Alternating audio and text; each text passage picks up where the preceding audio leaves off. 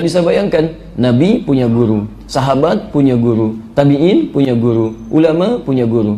Antum bukan Nabi, bukan Rasul, bukan sahabat, bukan ulama, bukan tabi'in. Mau belajar sendiri, nggak punya guru. Bagaimana kita bisa memahami dengan baik, gitu kan?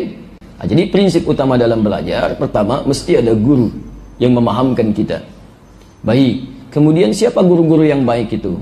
Nabi SAW menjelaskan, lihat, kalau tadi Nabi gurunya malaikat Jibril. Nabi mengajarkan pada sahabat, sahabat gurunya Nabi. Sahabat mengajarkan pada tabi'in, tabi'in gurunya sahabat. Kemudian tabi'in mengajarkan pada generasi setelahnya. Nah, runtutan orang-orang yang mengajarkan ini, kalau orang-orang belajar dari Nabi, disebut oleh Nabi di hadis riwayat Ibnu Majah, nomor hadis 233. Rawinya dari sahabat Abu Darda radhiyallahu taala anhu. Lihat di ujung hadisnya, lihat kalimatnya. Wa innal ulama'a warathatul anbiya' dan sungguh para ulama itu pewarisnya para nabi.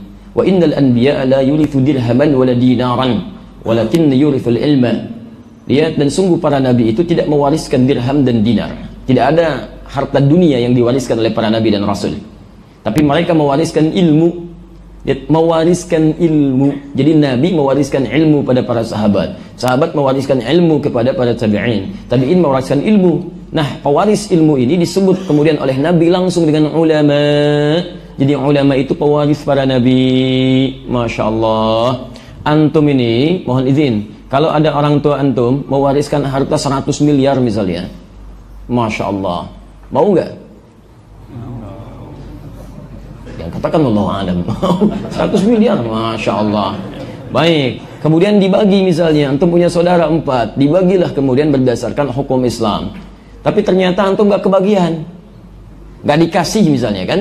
Baik, ketika antum tidak dikasih padahal antum berpeluang mendapatkan bagiannya, bagaimana respon antum?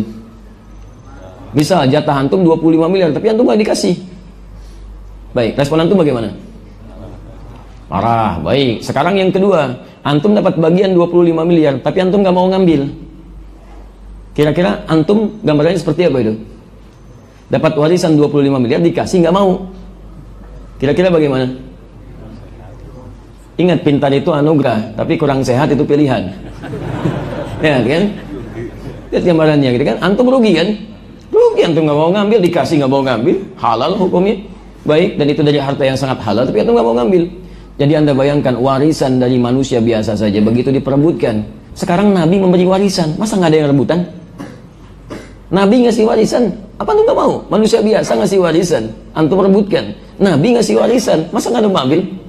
Dan warisan Nabi itu kalau diberikan, itu sejahtera dunia, bahagia akhirat. Warisan manusia belum tentu mengantarkan antum pada kebahagiaan akhirat. Tapi kalau warisan Nabi, sudah pasti itu. Dunia bahagia, akhirat juga Masya Allah, gembira luar biasa. Nah sekarang warisan Nabi itu ada pada para ulama. Ulama itu yang mengajarkan kita ilmu. Jadi kalau antum ingin belajar tentang yang benar, tersambung kepada Nabi, maka cari dari yang ulama. Apa ciri ulama? Quran surah 35 Fatir. Ya, dari ayat 27 sampai dengan ayat 29 itu. Posisi paling kanan sebelah bawah. Saya langsung ke inti ayatnya saja. Lihat kalimatnya, lihat innama yakhshallaha min ibadihi ulama. Ketika Allah menyebutkan kalimat ulama, tidak menyebutkan ciri pintarnya. Karena ulama itu sudah pasti pintar. Makanya jamak dari alim, alim itu pintar. Alim itu pintar, lawannya jahil, bodoh, tidak banyak pengetahuan. Kalau sudah punya pengetahuan alim, jamaknya ulama, tapi ketika disebutkan ciri ulama oleh Quran tidak sekadar pintar. Tapi khasyah, yakhsyallah. Kepintarannya bisa menuntun ia untuk takut kepada Allah Subhanahu wa taala. Awas hati-hati. Jadi kalau antum ingin cari guru, ya baik secara langsung ataupun lewat media perantara ketika tidak mendapatinya ada yang lewat YouTube tadi karena tidak bisa langsung bertemu dengan yang bersangkutan misalnya ada yang lewat perangkat yang lainnya silahkan Mala yukhadhu kulluhu la yutraku kulluhu. Hal yang tidak bisa diambil seluruhnya, setidaknya jangan tinggalkan sebagiannya. Ada wasilah, ambil. Sekarang teknologinya luar biasa, bisa pakai Skype, bisa live dan sebagainya, bisa nanya langsung, silahkan. Jadi, boleh kita, nggak ada masalah di situ. Walaupun barangkali nanti ada hal-hal yang belum dipahami mesti disempurnakan di situ. Tapi poinnya adalah kalau Anda mencari guru-guru, maka carilah kata Quran yang punya rasa takut kepada Allah. Jadi ilmunya membuat dia takut kepada Allah. Bukan sekedar pintar. Kalau yang pintar banyak, non muslim pun ada yang pintar, bahkan hafal Quran. Orientalis itu pada pintar, hafal Quran. Ya, kemudian ada orang-orang yang orang-orang misi macam-macam dia pelajari itu. Dia pelajari. Dan ada sekolah-sekolah khusus didesain di barat sejak zaman dulu, bahkan sejak mohon maaf tahun 1492 itu, sejak terjadinya selesai perjanjian Tordesillas, kemudian orang-orang Islam dikalahkan di Spanyol, manuskripnya dibawa ke Eropa ke barat, itu langsung mendirikan sekolah orientalis. Banyak.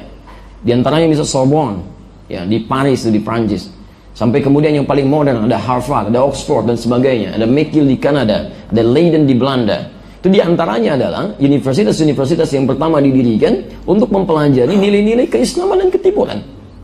Dan di sana banyak orang-orang yang memahami Al-Quran dalam arti menghafalkannya, mencoba memahaminya, hadis dan sebagainya. Tapi untuk memahami itu, mohon maaf, mereka tidak niat untuk mendapatkan hidayah dan kebaikan dari situ. Hanya sekedar menemukan celah-celahnya untuk dipersoalkan dan diberikan keraguan kepada orang-orang Islam. Demikian misi pada umumnya yang dilakukan oleh mereka. Karena itu alumni-alumni yang kemudian berasal dari sana, pulang-pulang ke Indonesia, itu kadang-kadang pada aneh-aneh.